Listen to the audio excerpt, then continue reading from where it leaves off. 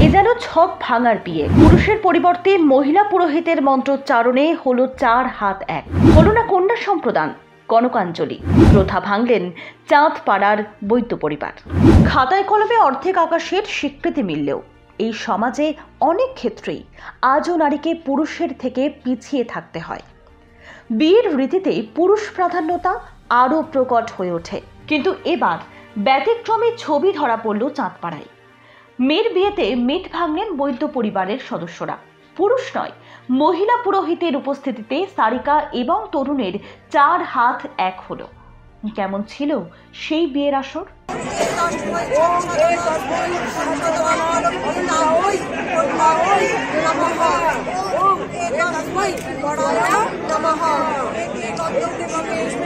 চাঁদপাড়া এলাকায় আয়োজিত এই বিয়ের আসরকে দেখে আর পাঁচটা বিয়ের অনুষ্ঠানের মতো লাগলেও সেই ভুল ভাঙে ছাদনা তলায় এলেই। মহিলা পুরোহিতের তত্ত্বাবধানে হয় বিয়ের উপাচার। বৈদিক মন্ত্রোচ্চারণের মধ্যে দিয়ে সম্পন্ন হয় বিয়ে। সমাজে নারী পুরুষের সাম্য বজায় রাখতে বৈদিক মতে বিয়ের আয়োজন বাড়ছে। এদিন এমনই বিয়ের সাক্ষী থাকলেও চাঁদপাড়াবাসী। নববধূ সারিকা বৈদ্য জানান, বিয়েতে কন্যাদানের মতো বিষয় সত্যি অপ্রাসঙ্গিক, তাই অন্যভাবে বিয়ের অনুষ্ঠানের ইচ্ছে ছিল। আর সেই ভাবনা থেকেই এই আয়োজন। কিছু করছে, চাঁদে যাচ্ছে, দেশ চালাচ্ছে, রাজ্য চালাচ্ছে। তো আমরা আর হচ্ছে কন্যা দান এই জিনিসটা আমাদের একদমই পছন্দ না মানে আমাদেরকে কারোরই নয়। কারণ কন্যা এরকম দান করা যায় না মানে একটা দান করে দিয়ে দিলাম মানে ছেলেদের দান করছে না, মেয়েদের দান করছে, আর একটা মানুষকে এরকম দান করা যায়? মানে এটা তো খেলনা বা গিফট নয় যে কাউকে দান করে দেবে। বৈদিক মতে বিয়ের অনুষ্ঠানে কন্যাদান কনকাঞ্জলি প্রথা নেই, কারণ মেয়েরা কোনো পণ্য নয় যে তাকে দান করা যায়। একইভাবে, এক মুঠো চাল দিয়ে বাবা মায়ের ঋণ শোধের আচার পালনও এই বিয়ের অঙ্গ নয়। পাত্র তরুণ কর্মকারের কথায় মা বাবার ঋণ কখনো শোধ করা যায় না। তাহলে এই নিয়ম কেন? আমার একটাই বলার যে আমরা যে নিয়মগুলো করি, আমরা কেউই জানি না কী নিয়ম করছি, কেন করছি। ঠিক আছে? এবং তার মধ্যে অনেক কিছু ভুল আছে। যেটা ভুলগুলো চোখের সামনে দেখা যায়। যেটা প্রথম কথা যেটা কন্যাদান দানটা কেন করব? তারপরে যেরকম ওই ঋণ শোধ, মেয়েরা যখন বেরিয়ে যাচ্ছে ঋণ শোধ করে যায় না, ওই চাল ফেলে। সেটাও কেন করবে? কিসের ঋণ শোধ করছে? তো সেটা সম্ভব না তো আমার মনে হয় যে, সেটা আস্তে আস্তে চেঞ্জ করা উচিত। সেই ভাবনাগুলোর থেকে বেরোনো উচিত। এবং আমরা যদি কোনো নিয়ম পালন করছি, আমাদের জানা উচিত যে আমরা কেন করছি। চিরাচরিত রীতি ভেঙে সমাজের কাছে এইভাবেই নতুন বার্তা তুলে দিয়েছেন বৈদ্য পরিবারের সদস্যরা। নববধূর দাদা দিলীপ বৈদ্য জানান, পুরুষ শাসিত সমাজের তৈরি প্রথাকেই সঠিক মনে করে আমরা আঁকড়ে রেখেছি।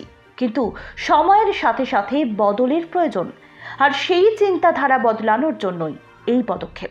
মুখ বুঝে আমাদের এই সমাজ ব্যবস্থায় মেনে আসছিল সবাই। তো তখন মনে করা হলো যে পরিবর্তন প্রয়োজন। হয়তো বলবেন যে কেন ওরাই তো করছিল, ঠিক করছিল, কেন নয়? আমি যে যে সময় দাঁড়িয়ে করছিল, সেই সমাজ ব্যবস্থায় শিক্ষিত মানুষের সংখ্যা বা তার প্রয়োজন আর আজকের দিনে দাঁড়িয়ে অনেক পার্থক্য।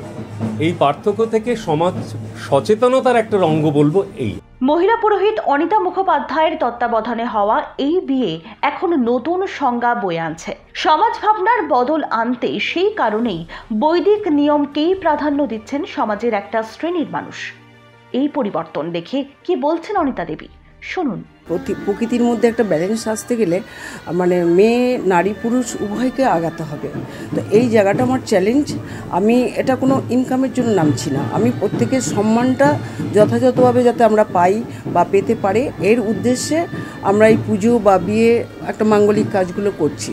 তা এইটাই আমরা কিছু জনের ব্রড মাইন্ডে যেমন দেবতনুবাবু এনাদের একটা ব্রড মাইন্ডের জন্য উনি আমাকে ফেসবুক থেকে ডেকে ডেকে নিলেন। এন্টালিতে পুজো করলাম, ওনারাও ডেকেছেন। আরও বিভিন্ন জায়গায় ওনারা ওইভাবেই ডাকছেন, সেই সম্মান যথাযোগ্য দিচ্ছেন। আগে পুজোর জন্য দূর দূরান্তে গেলেও বিয়ের কাজ এটা নিয়ে দ্বিতীয়। পুরুষ শাসিত সমাজের সামনে বিয়ের কাজে অংশ নেওয়া তার কাছে চ্যালেঞ্জের সমান। এমনটাই জানিয়েছেন অনিতা মুখোপাধ্যায়। এই বিয়ের আয়োজন করে নারী পুরুষ সমতার বার্তা দিতে চেয়েছেন বৈদ্য বাড়ির সদস্যরা। আগামী দিনে তাদের দেখানো পথ অনুসরণ করবেন বাকিরাও সেই আশা নিয়েই ব্যতিক্রমী আয়োজন। নারী এবং পুরুষ সমান অধিকারের বার্তা দিতে বর্তমানে বৈদিক বিবাহের জনপ্রিয়তা বাড়ছে। টলিউড থেকে বলিউড তারকারাও বৈদিক মতে বিয়ের পর্ব সেরেছেন। দেবলীনা কুমার, গৌরব চট্টোপাধ্যায়, ওম মিমির মতো টলিউড তারকারা যেমন বৈদিক মতে বিয়ে করেছেন, তেমনি দিয়া মির্জাও নিজের বিয়েকে ব্যতিক্রমী করে তুলেছিলেন এইভাবেই। নিউজ ব্যুরো, আজ বিকেল।